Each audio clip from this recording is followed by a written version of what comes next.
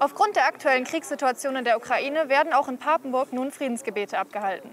Die Pfarrei St. Antonius bietet seit zwei Tagen hier vor der St. Antoniuskirche Gebete für den Frieden über die Konfessionsgrenzen hinaus an. Täglich kommen Menschen aus Papenburg und Umgebung um 19.30 Uhr hierher, um zu beten. Euer JutzTV-Team ist heute hier, um mit den Menschen über die Lage in der Ukraine und ihre Gefühle in der derzeitigen Situation zu sprechen.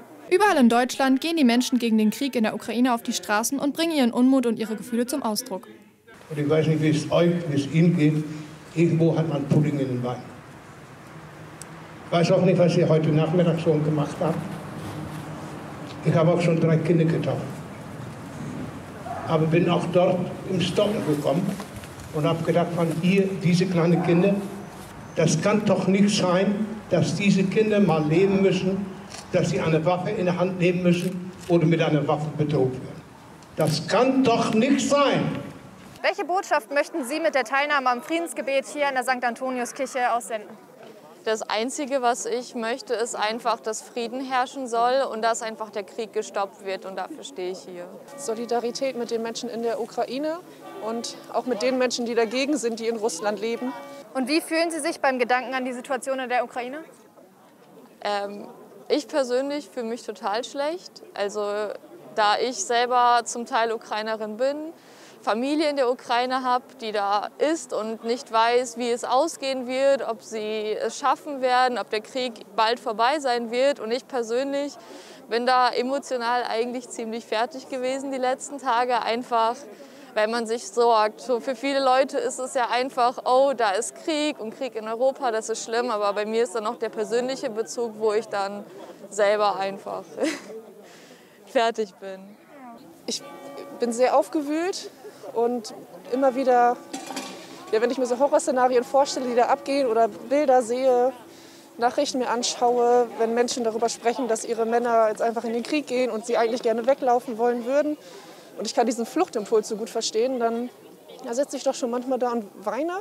Das hat mich schon sehr, das überrollt mich sehr, muss ich sagen. Im Mittelpunkt der Friedensgebete steht Pastor Voisdorf. Wofür beten Sie und die anderen Menschen hier heute?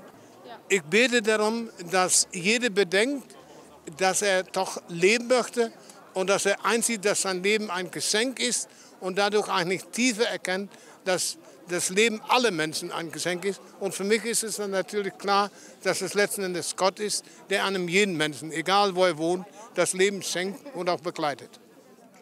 Wie positioniert sich die Pfarrei St. Antonius in dieser Situation? Äh, wir zusammen bilden ja die Pfarrei. Das hängt auch der Pfarrei. Die Pfarrei sind die einzelnen Menschen. Und das sind die einzelnen Menschen, die mitmachen. Und ich denke, gerade so heute Abend wird es wohl ein bisschen spürbar, dass vielen Menschen etwas daran liegt. Aber es wird auch deutlich, dass wir uns gegenseitig helfen müssen und deutlich machen, ich kann wohl etwas machen, damit es mehr Frieden gibt. Was kann denn die Gemeinde und auch jeder Einzelne für die Menschen aus der Ukraine tun? Zunächst, dass man Frieden mit sich selbst hat. Dass man sich selbst sagt, ich bin ein wichtiger Mensch und ich möchte leben. Und dass er dann überlegt, ob er mit seinen nächsten Mitmenschen vernünftig reden kann ja, und auch vernünftig reden kann, auch über die Problematik in der Ukraine. Und wenn diese beiden Schritte gelingen, dann ist er auch in der Lage, den Menschen in der Ukraine zu helfen. A, indem er sich informiert und B, in diesem Falle, dass er Flüchtlinge aufnimmt und C, dass er spendet, damit gewisse Organisationen auch in Notlagen unterstützen können. In Momenten wie diesen ist Gemeinschaft besonders wichtig. Deshalb können Sie täglich Gemeinschaft in den Friedensgebeten hier erleben, wenn Sie Solidarität mit den Menschen aus der Ukraine zeigen wollen.